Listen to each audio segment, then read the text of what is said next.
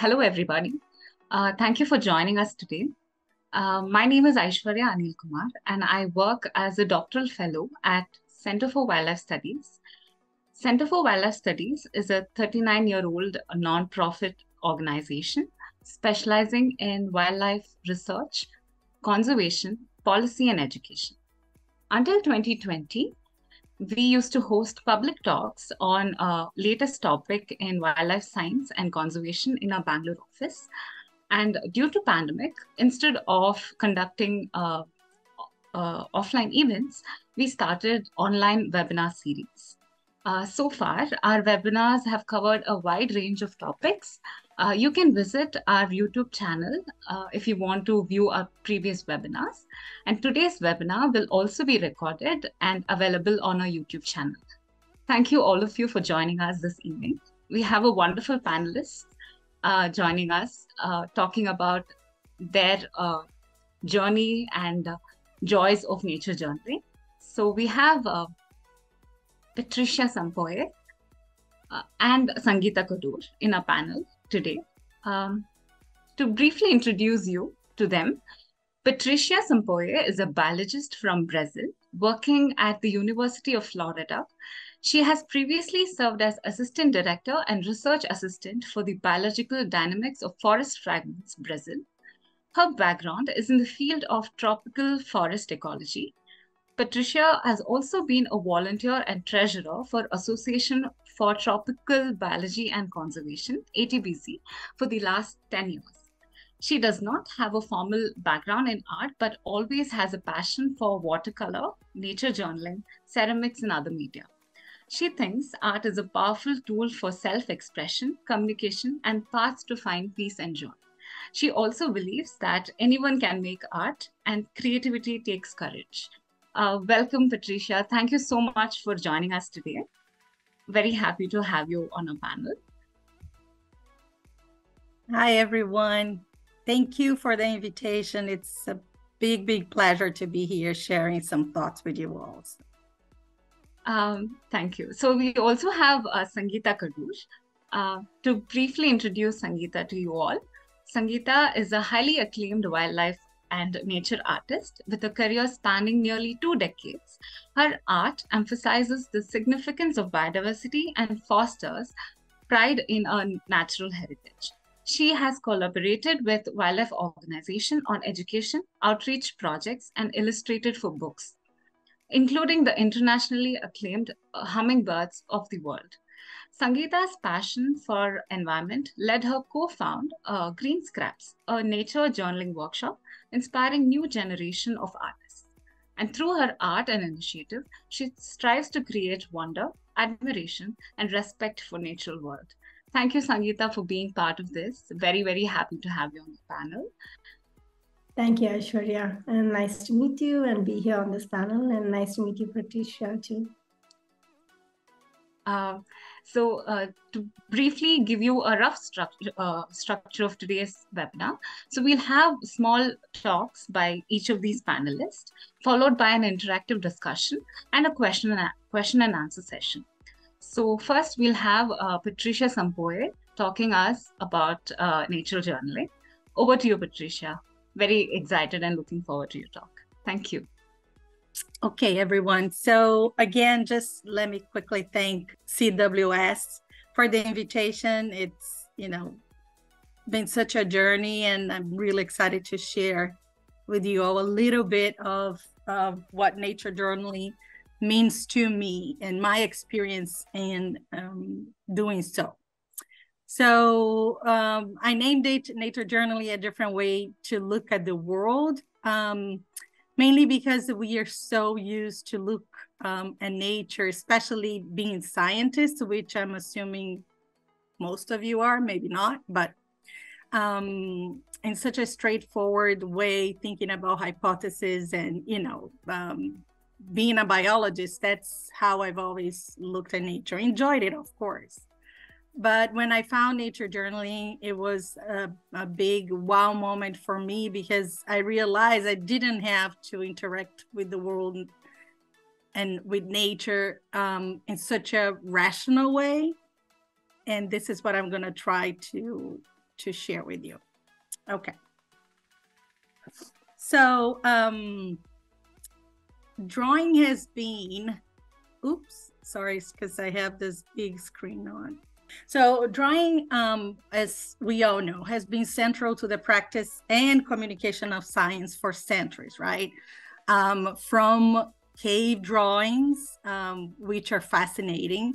I think humans have always had a need to express ourselves through um, not only words but you know images and and the power of images it's something that we can't um, deny so here's just a few examples of um, you know this happening from prehistoric art through 17th century uh, depiction of the first insect life drawings which was fascinating for me to find um, this one over here and um, and it was by an artist, not so much as a, a naturalist, right? Um, and then the first sketchbooks that existed were actually from the naturalists and world explorers that would document every adventure they've had and, and encounters and everything through, you know, writing and drawing what they were seeing.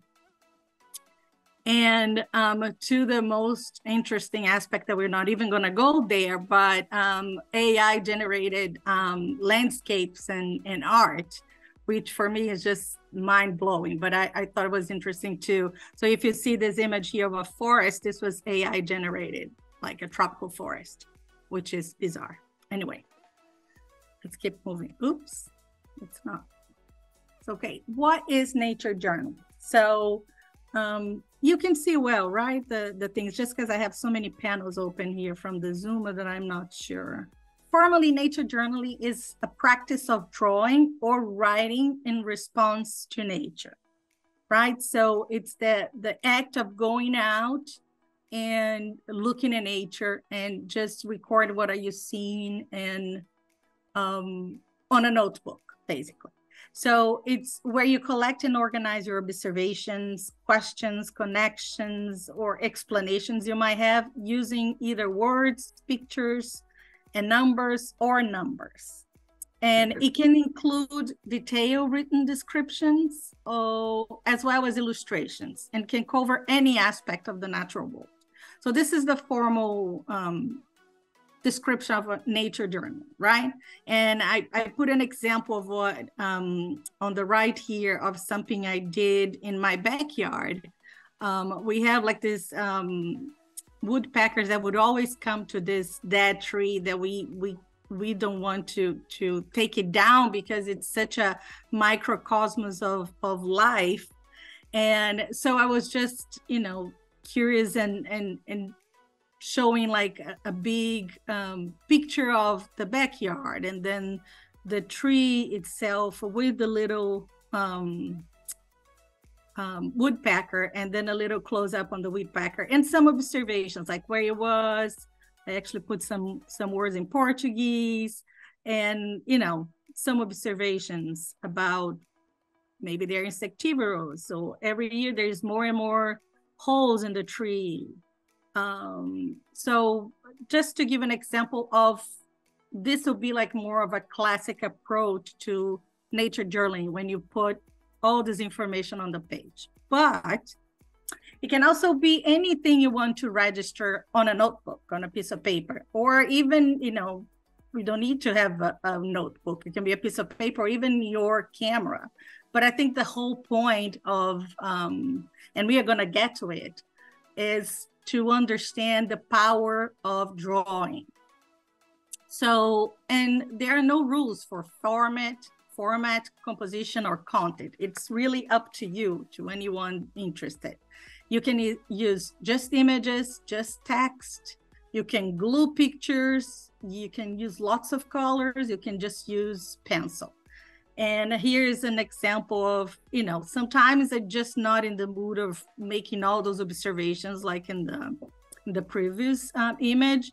So I just want to relax. So I just draw some things and paint with watercolor. And some other days I'm just like, okay, I went for a walk and then I do a collection of what things that I've collected and see, and then just name them if I know, you know, having a, background in biology kind of helps. But it, it, the point is that it doesn't have to be in any specific um, shape or form, or at least that's the approach I have. Um, and so, why nature journey? So, humans are, and research shows this, um, that humans are visual beings, right? Um, we understand a lot of information out there just by visually looking at it.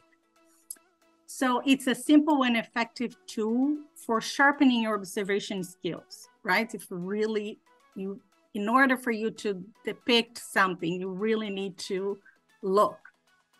And we're going to get more into it in a little bit. And um, also, research shows that we do retain and remember information better when we are taking notes by hand, more so than typing. And I've been trying to convince my adolescent kids of that. And it's been hard because they, you know, in their, um, this new generation, it's not really interested in writing anything down.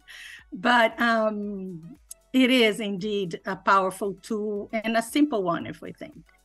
Uh, drawing can enhance visual thinking skills, creativity, and problem solving and recording our observations and this for me it's what um, it's the most important one personally enhances the ability to be present in the moment which contributes to our well-being just the fact that we are right there turning off our thinking brain looking at something trying to draw that and paint and using colors and creatively approaching that just brings us to the present moment, which is a source of well being and gets us outside and away from technology. I think I put this more for this new generation than from ourselves as uh, biologists. I think, you know, most of us probably get out a lot, but, um, and it's fun, right?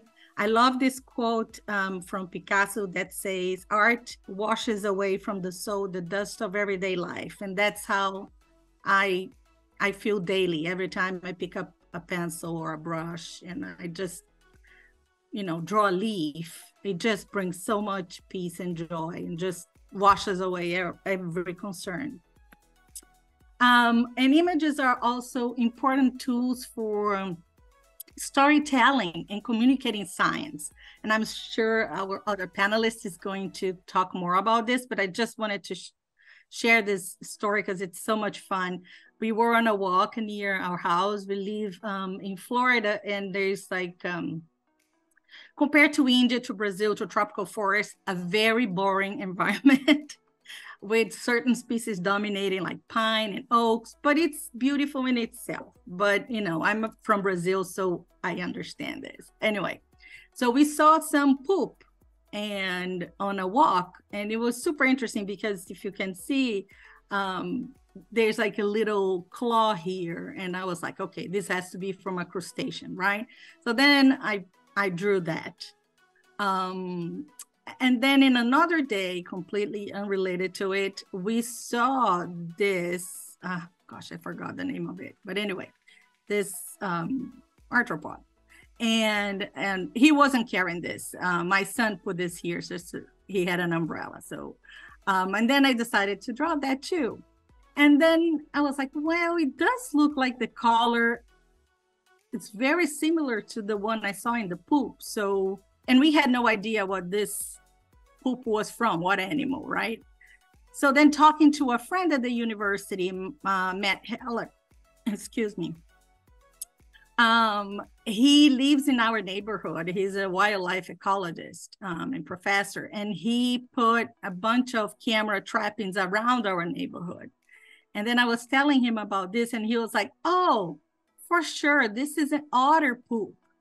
And otters love to eat this kind of, of arthropod, um, aquatic, like semi-aquatic, right? And then he showed me pictures of that he got like in a in a lake nearby, which I had no idea um, that we had otters here, right? So then looking at this from a perspective of a biologist, like, yeah, okay, come on, you know, we all know that, we know those interactions. But in terms of a powerful storytelling for kids, like my kids were fascinated about it, you know, when we when we made all those connections. I think that there is power in there too, not only what brings us in terms of well-being and happiness, but the potential to um, use this as a tool for communicating science.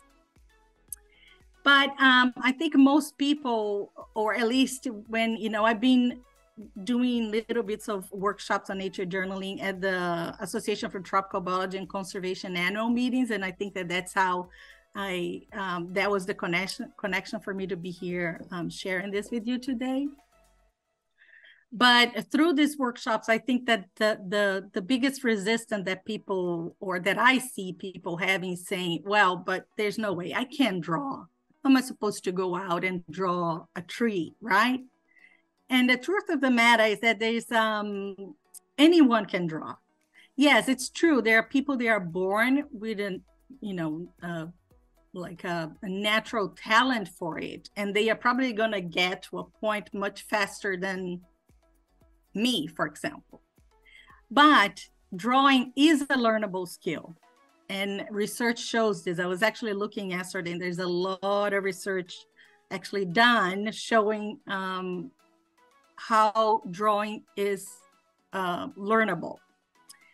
So uh, this is just a cartoon showing, you know, I, I loved it, of the perspective of like the expectation that we would you know, be born learning how to draw. When she says surgeons already know how to cut into people, engineers know how to build bridges right out of the gate, right? And it is true. And and the other thing that will contribute for you to be able to draw, it's what John Muir Laws, um, this person that has this quote. He is like the father, grandfather of nature journaling in the U.S. Right? Um, he, they are now trying to expand it um, to the world, but in the U.S., he's like the person um, that started this whole process, this whole movement here. So he says that um, no tool is a shortcut about drawing, right? It is not the pen, it's not the paint set, it's not the journal. It's the what he calls pencil miles, which I thought it was such a brilliant concept which means it's the time in the field that you spend observing, wondering, and drawing. So the more you do, the easier it gets. And also, the third aspect, which for me was like a big discovery, is how to learn. I mean, to learn how to actually see. So we are so used to have those images from childhood imprinted in in um, in our minds, right? In terms of like, let's draw a person and then it's a stick figure. But um, there is this book, which is fantastic, calling, called Drawing on the Right Side of the Brain, which says that if we are able to turn off our rational brain and, and just really look at something and just follow the lines of that, we will be able to, to get better and, and draw better, whatever that means. And so I just wanted to show you, this is a statue on the Smithsonian. And, you know, if I had to draw the person, how my brain, now I always learn to draw persons as a stick figure, right? But then using blind contour, which is a technique that basically you only look at the object, you do not look at your at your hand or at the paper and you draw what you see. You have to just observe the lines. It's incredible because look it looks much better than my stick figure for sure. But it's it's hard because it's having to let go of what we know best which is to think as we look at something right and just quickly there's um this author um and nature journalist called kate reuter. And um she it's really cool because she has like this um, seven ways of seeing showing how you can depict an image by using all these um, techniques which are techniques of looking, right? The symbolic, the gesture. And then she uses the blind contour, which is number three here, that it's the same one I used here. And when I first learned about blind contour, I was like, oh my gosh, what's the point of this? I mean, I can't look at my hand. What am I going to know what is? And, and nowadays, it's one of the things I mostly love doing because it really is freeing. You just look at it and you get the most bizarre images. And some of them are so organic and so true to what you're seeing much more than if I had put my effort in like looking at angles and going and measuring and, and doing a scale. But again, this is like a very personal choice. And then just to give you an example of myself, um, this is a mushroom in 2020 that I drew, the same kind of mushroom, right? And then three years practicing really looking. I think that and practicing using those pencil miles that John Muir said, um, I can now say to myself, most of all, that I can draw, but with the caveat that don't ask me how to to draw people because that it's the biggest challenge, at least for me. Um, so you can see that it's possible with practice, with learning to really look. Um, there's a way where you can start to seeing the image in a more 3D, when you start to understand shadows, when you try to understand um, volume and all that. And these are things that can be learned. Trust me, look at my mushroom in 2020, right? And um, there are no recipes of how to put a page together. This here is just some examples and ideas that are throughout there. So on the right here, there's a, a banana tree in front of my house. So I decided to just um, do it, painting it with like um, watercolor and um, uh, fine liner, how it looks through, because it's so obvious during the seasons being a tropical plant and, you know, not being very happy during winter here, how it um, changes through the season. It was fun just to observe this. And so you can do date and weather, overall landscape, description of the day, the place where you are, the feeling, how many, how large, different scales. You can do a same object over time, just like I did here with the banana tree. You can do a collection of objects you find in a walk and other, you know, there are many, many possibilities. And I think that the most important thing for me and that I, I try to bring to the to the workshops that I've done in the past is that the nature journal and and it's it's a simple but powerful message. It's yours and yours only. You don't have to share it right? There's no pressure. You can experiment and play. And the more you do it like i said the easier it will become. This does not need to be an art piece nor look perfect whatever perfect is and your observation may not be new to science if you're doing more of a formal nature journal, but it is new to you, and that has value. And the most important, use it to practice being present, observe, breathe, and feel joy and peace as you connect to nature.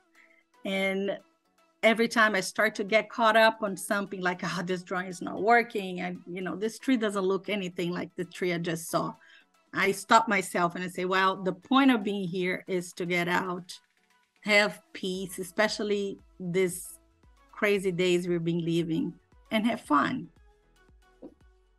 And just to finish it, to wrap up, um, there is a, a, a, new, not a new concept, but um, I always, you know, because my approach to it has been less and less formal of a nature journaling in in in, in the sense of um, describing things that I'm seeing with words and measurements and things, then I um, I found this um, author called Ali Foxon, and she just developed this this concept called green sketching, and it's basically a hybrid of field sketching, nature journaling, mindful drawing, and etc. And it is like nature journaling, but with a few key difference. There is no need to keep a dedicated journal. You can write anywhere. You can take a piece of paper with you. You don't have to learn about nature to enjoy it. And you can doodle in your own way. Not that you can do in your own, own way, but I think the point she's trying to, to make here is that um, you can enjoy the benefits of this without having a scientific background or having as your goal a scientific observation of the world around you. And for us as uh, biologists, that you know it comes naturally, but as a tool for environmental education for other you know people out there, it might be just what they need to learn or they need to to do in order to find this well-being and I I strongly um, she has a quick TED talk on um, about green sketching that it's really good. So if you have a chance, just Google TED Talk, Dr. Foxon, and it, it, it's really really powerful message. She does a much better job than me to explain the drawing, the the right side of the brain, and all that.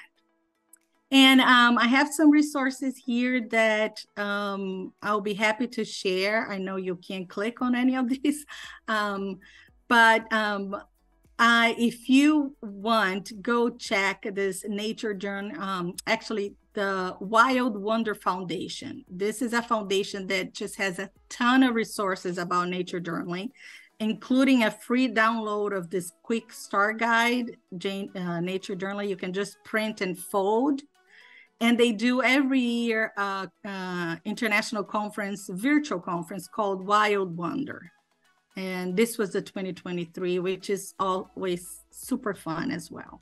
Here's my email. Please, you know, feel free to ask or email me questions, comments, anything. I'm happy to to support your nature journal um, journey, whatever it may be. So happy to take questions at the end. Thank you so much.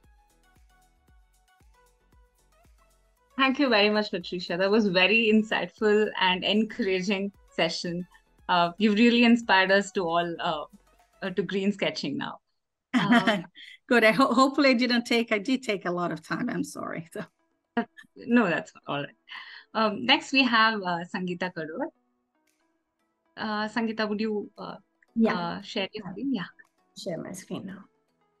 Uh, thank you, Patricia. That was really amazing. Nice to see your journey uh, with journaling. And uh, uh for us in India, I think Brazil is a great place to be, and an exotic location for all of us. And uh, you seem to be in a great place and a great backyard you have that you have otters.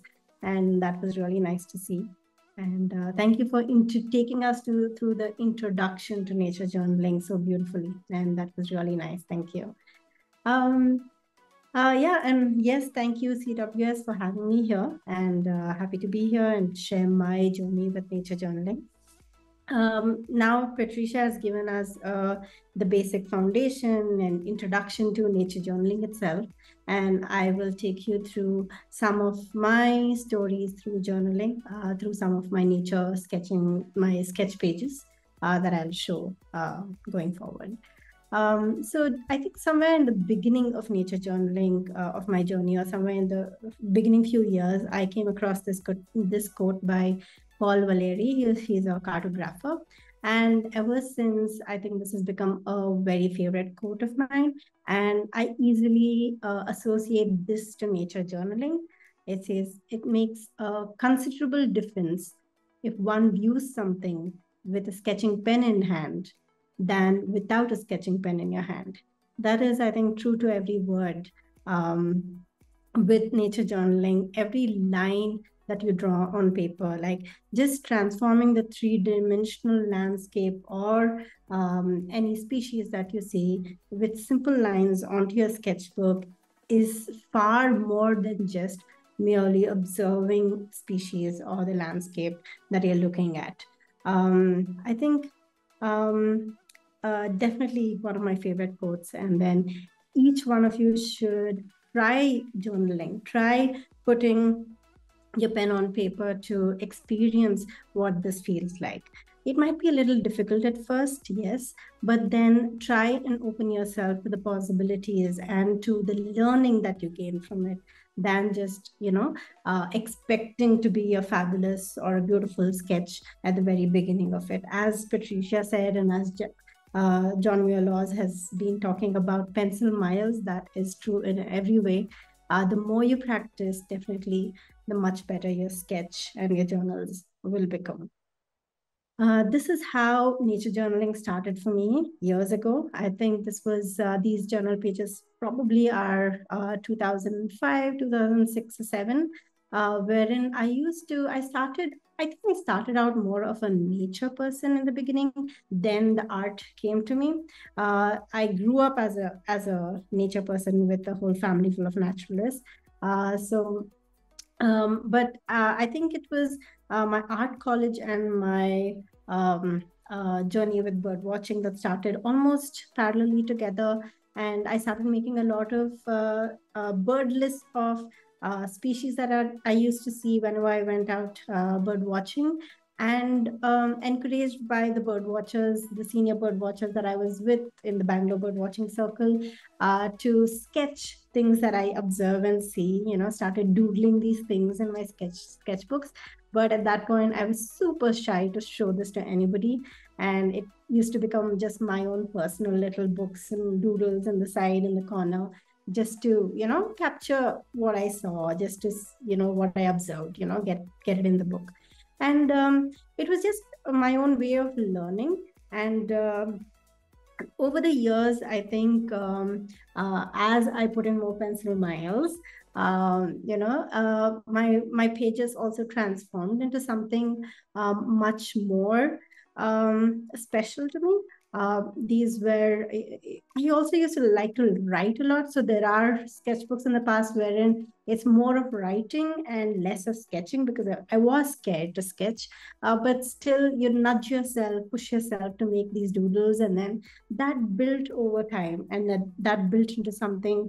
Uh, now i think i have i i sketch more and i write less which is probably uh, not good but um, it depends on time that you have in the field and all that um, so I think my um, uh, most of my journals have um, you know um, observations from the field, um, uh, things that I see, things that they're doing, things um, uh, definitely the place, date, time uh, are part of all my journals because um, mine is more like a traveling journal.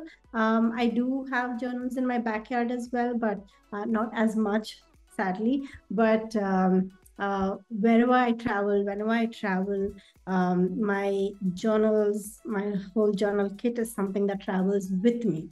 And over the years, I think just as my journal pages has transformed into something more richer, uh, something more meaningful, something more um, uh, special to me. I think even I've grown as a person. Uh, just paying attention to the little details has uh, come a long way to how it was, to how uh, things can become with good practice is actually magical. And um, the best part about being in the field and journaling, looking at things in right in front of you having direct encounters with it could be a lizard or a grasshopper or a frog you know uh, i think that remains with you much more uh, strongly much more um, yeah it has a special place i guess and each of these sketch pages that you see, uh, as soon as I look at them, it just literally transports me back to the time that I was right there in front of that tree or in front of that frog or a flower, sketching it. The whole moment becomes um, reawakened again. Um, to know who I was with, who I was sketching with, who I was traveling with, to what other observations that I had while I was sketching something. You know, these are all the things that make nature journaling so much more special. And uh, definitely, as uh, Patricia said, many things that Patricia said, I probably will be uh, sharing again. Like just being present in these moments in time that is what nature journaling does to you. Uh, the amount of interest or the attention that you start paying uh, to uh, to uh, capture these species onto your book is the amount of interest and the time and the focus and the energy that you are uh, putting in there. So that is what gets translated onto your paper. It is also something it's about the way you look at things uh, the more you see and how you see it is what gets translated onto your paper as well. I have many of these uh, uh, favorite quotes of mine that are uh, part of this um, uh, presentation today, and this is another favorite of mine. It says, I have learned that I have not drawn, sorry, I have learned that what I have not drawn, I have never really seen. And that when I start drawing an ordinary thing, I realize how extraordinary it is a sheer miracle. Um, again, I'm sure all of you agree how beautiful this quote is and how uh, you seek the extraordinariness of things.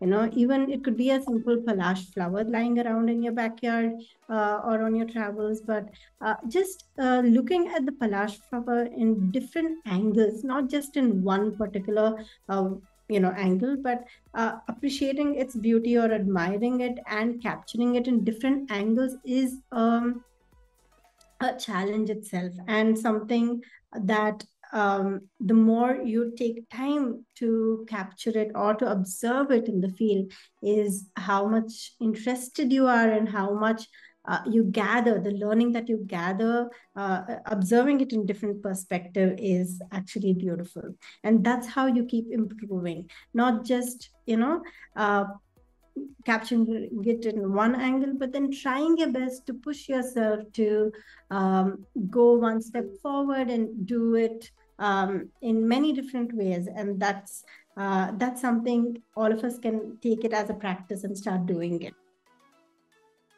uh, this is a favorite book, uh, a favorite tree of mine, the fig, uh, the the fig tree, the Ficus racemosa. It's popularly known as the queen of trees because it gives sustains that many life forms in a forest or any landscape that it is in.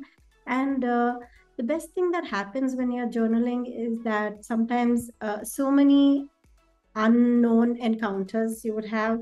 Uh, suddenly, while sketching this, the beater swooped in, and there was another time that I was sketching a fig tree again, and there was a there was a whole hunting party of drongos and uh, prinias and sunbirds and warblers. You know, all of them congregating in that uh, tree, and it was just the whole experience becomes much more richer. Uh, you definitely become a better observer when you are uh, paying so much attention to detail and trying to capture it in your book.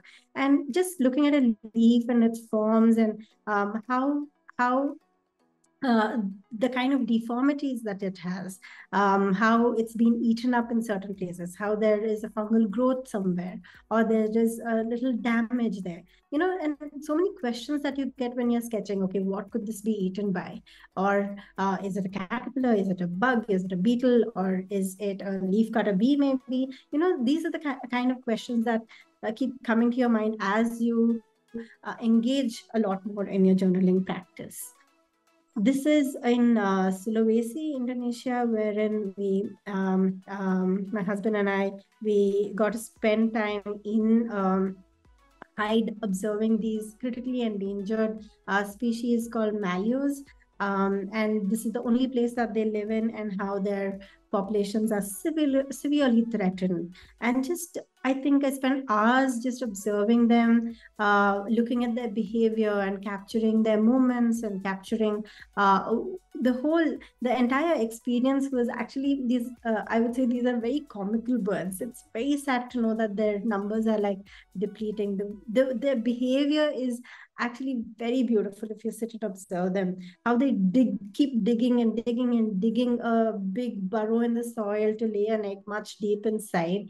And we also saw monitor lizards that come uh, every, occasionally you know to go in each of these burrows and you know try to um, uh, take the eggs. We did not see that happening but then they come look out for these eggs regularly and um, these birds just move away when the monitor lizards come. They can't help it right? But it's just observing all these little things just makes your um, your um, connection with these animals uh, build a bigger connection with these animals as such. Uh, here's a very similar quote to what i had mentioned earlier. Um, it says spend one hour drawing a plant. You will understand it far better than spending one hour just looking at it. Um, each of you should spend time sketching uh, journaling with nature, and you will really see the beauty of this quote as well, uh, wherein um, the amount that you observe when you are uh, uh, sketching, putting your pen on paper and drawing those lines to recreate what you're seeing is um, you take back a lot more than just observing it. I think it, it's again different for each person. Uh, a naturalist would a naturalist would see it differently. A school child might see it differently. A parent or adult, everyone would see it differently in different perspectives. But how that makes you makes you feel or how you capture that is quite unique uh, with nature journaling and each person has their own unique ways of capturing things right and the learning that you gain from capturing this on paper is again very special um, this is the same page, uh, a more complete version of it. Again, it depends on time.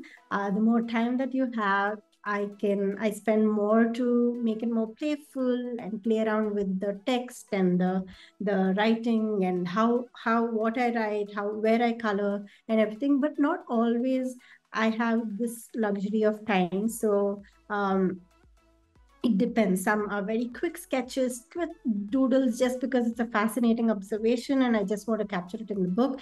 And sometimes, with the luxury of time, you go one step forward to see you know a whole bunch of things. And as i said you know the direct encounters that happens when you're just sketching a flower. Like i saw carpenter bees visiting to the flower many other bees and wasps hovering ra- around. And the best part was uh, watching that caterpillar munching away on these leaves. So realize that it's a host plant for the emigrant butterfly. So there's so much learning that you gather while looking at these uh, while journaling.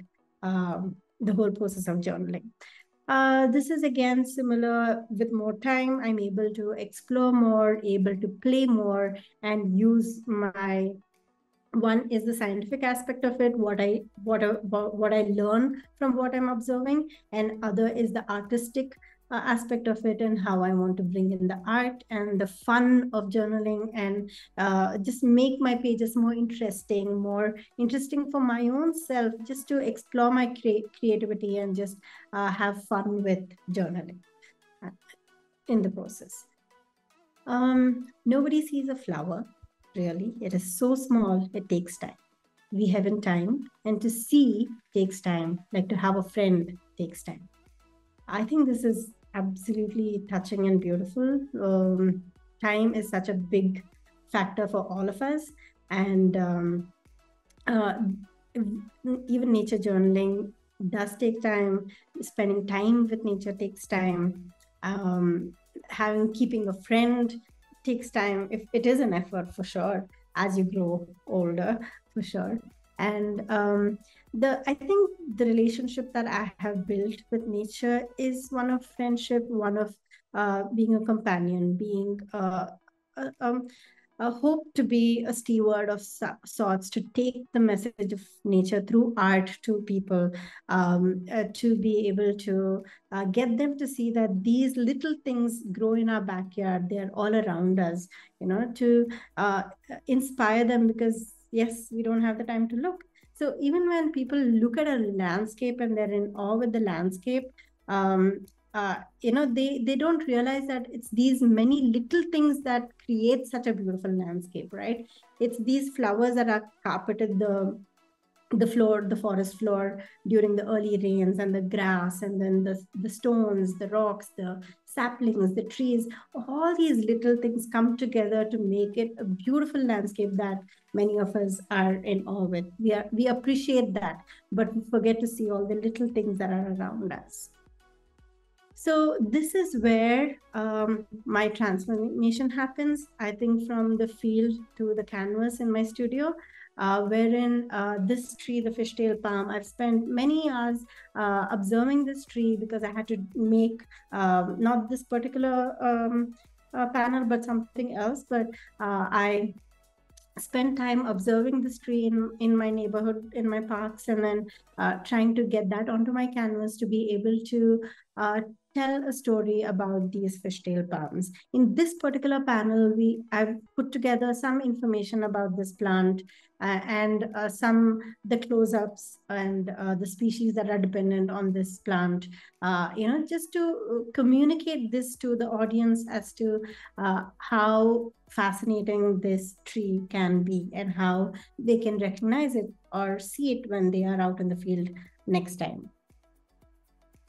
Um, so these are again some of my studio works, how my nature journals have definitely helped me um, make my studio works uh, much uh, much more stronger because the the attention to detail that we start paying is a lot more.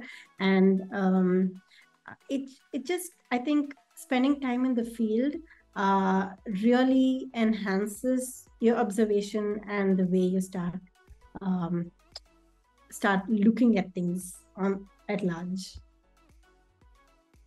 Um, this is another illustration work, um, just observing uh, the rocks, the grass, uh, all these little things that you observe in the field that helps you build a bigger painting. I've even gone to the zoo on a few days to uh, sketch this uh, monitor lizard in different angles, just to uh, understand its form, its its the way it moves, uh, just to get an essence of the animal itself.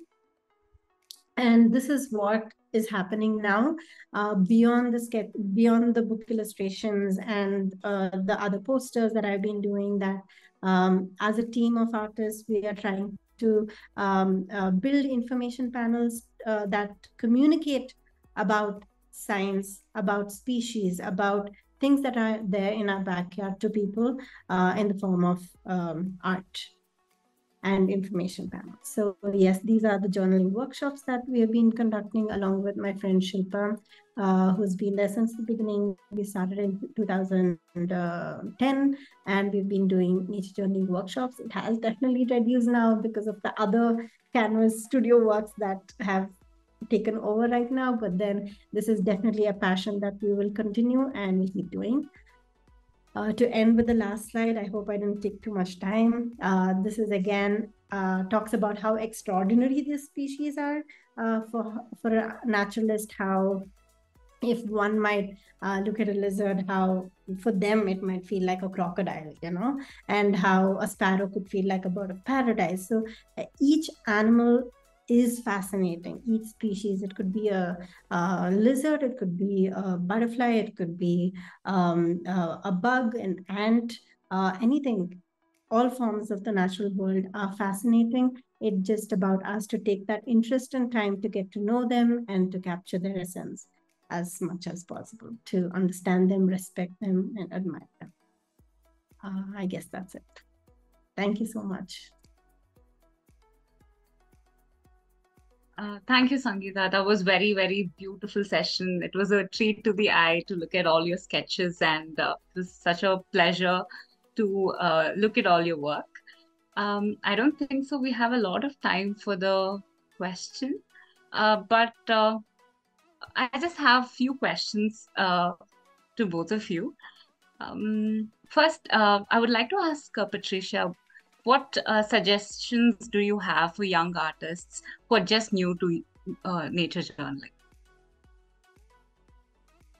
Um, I would say to um, grab an, a notebook, anything, and a pencil, and go outside and, you know, try to find something that you really like in terms, you know, like a tree or a leaf. And it starts small with a leaf, for example, but get a leaf that calls your attention because once we are drawn to something, I think it makes it much more exciting to to challenge ourselves, right? So yeah, it starts small. Don't don't get so caught up on the perfection or you know how beautiful it looks and actually um John Muir Laws that we were talking about and uh, sangeetha also mentioned um he says that um he never gives feedback to his students about how beautiful it looks because just by saying that he's already like misguiding them to think that their images have to have some sort of you know beauty connotation. So he always tries to give feedback like that's a great effort. Look at you know or making observations of the observations that the students did. Um, so yeah that's my um and play you know like get a cheap watercolor set and just play with that. Um it's so much fun and it doesn't have to you know get a leaf with a pencil get some watercolor and splash on it and it might just ignite something in you that will bring you joy. Yes yes thank you. Um, also, Sangeetha, I we wanted to ask you that uh, you've been uh, in this uh, uh, uh field for so long, and uh, could you talk as a talk to us about how you've been consistently pursuing this for two decades, and um, how was how was it to be consistent in this career? Um, yes, I think um, uh, uh, I have been lucky to be surrounded by, uh, while growing up, to be surrounded by a family who inspired me growing up um, to just be out in the wilderness. I think that was the whole start. And I think once you get inspired uh, enough, uh, you start interacting with people also who are probably um, influenced by similar interest. And uh, that flock ends up becoming your community your family and uh, that's how you build your connections if you want to be an artist and once you start showcasing your interest and start putting out your work out there i think people do recognize it and come back to you to be able to communicate their work. It could be a, a wildlife organizations or researchers, scientists, naturalists. You know, if they have ways of communicating uh, something to a larger audience, um, uh, we try and collaborate and do things. Uh, you know, it could be. Uh, I've started with a whole bunch of things. It could be. Um, I started, I think, with uh, some book illustrations, uh, tiny doodles for my uh, dad, and then uh, my my brother, some illustration in the book that he was putting together, and then um, a puzzle for a different organization, and a poster, a cover page for a guidebook. You know, these many little things, and then uh, later that that became um, uh, trying to do children's story books with a couple of them and then also uh, with authors who are naturalists and um, uh, illustrate uh, sorry uh, naturalists and uh, uh, scientists in the field who are professionals who write the books and they wanted me to illustrate for it so it's i think building the contacts over the years and if they see your passion and that you're committed to something that they do come back to you and yes um, um, I think just being out there, showcasing your work, uh, is the first start. And um, uh, from murals, or the, oh yeah, the very first one, big one for me project was the a mural that I did at uh, Bandipur Jungle Lodges. I think I was still in my art college days, and um, uh, when I went for a bird watching survey in Bandipur National Park, and um, uh, one i was smitten by this artist who was painting this big wall of a leopard uh, 10 feet by 15 feet mural and then i was like smitten and i was like okay this is definitely something that i want to do for the rest of my life you know? So and within a few weeks i was there um, adjacent to that wall uh, also painting a big mural um, uh, right there. So that was my beginning my stepping stone into this field uh, more formally and uh, there has been more, no looking back and i'm grateful for the collaborations and projects that have been coming my way and um, i hope to continue to do it and um, it's just keep your passion going and um, putting in that time the pencil miles and um, i think that's the way to go about it yeah awesome uh, so I think because of the time constraint, I just have one last question to ask both of you. What are uh, some of the mediums, art medium that you would like to take for your walks? What are some of your favorite uh, mediums that you carry for your uh, nature walks? Patricia, if you go first. Um, well, I'm a little biased. I love watercolor. um, actually, there's like this tiny, and and I, and it has to be something easy to carry. I don't know if Sangeetha, um, anything that will not stop you from going outside. So if it's like a big set with a bunch of things, you know, has to be something I, I use like something small, like a notebook like this.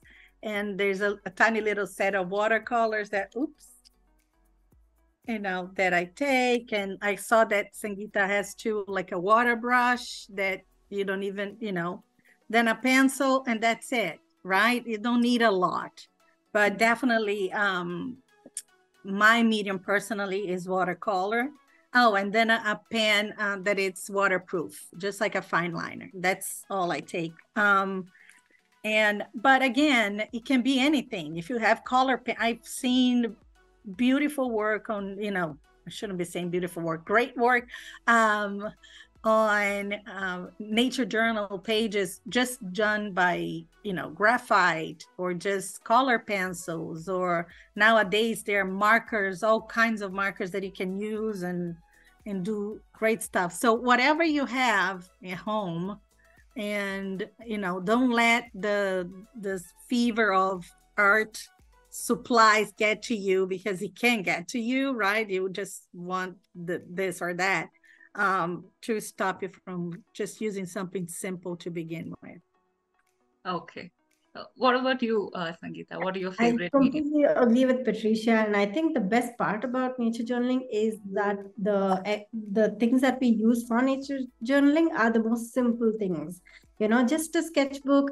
Uh, and yes, when you talk about a sketchbook, I would prefer it to be a, maybe a little hardbound so that it's just easier for us to carry in the field and because you're walking around and it's just sturdy and it's uh, nicer to hold and sketch because you don't know if you're standing or sitting or what what's happening. So a hardbound sketchbook maybe but any kind of sketchbook will also do. And um, black pen definitely a waterproof black pen is a favorite. And uh, watercolors becomes a very simple medium to carry in the field uh, because uh, many times you, all you have to do is just simple washes of color and you don't have to go into the detail uh, when you're out in the field. So um, with just it's amazing how with just a black pen and washes of color you can bring out so much you know as simple as that. You don't even have to go intricate painting and the little details. Uh, so definitely that and uh, um, um, last year or year and a half back, I was in the US and I met uh, John Muir Laws, and um, he gave me this amazing little uh, socks that you cut. Uh, and then you just put it on your sleeve when you're out in the field sketching. And because when you're using your water brush, um, you, you you need to change the the color the the paint gets stuck onto your brush right? Just to clean it and just to wipe out all the um the unnecessary water ex- excess water and things like that. That uh, little sock is so helpful. I don't have it with me right now but i'm still using it. And that is amazing. That that simple tool as a sock is just absolutely amazing.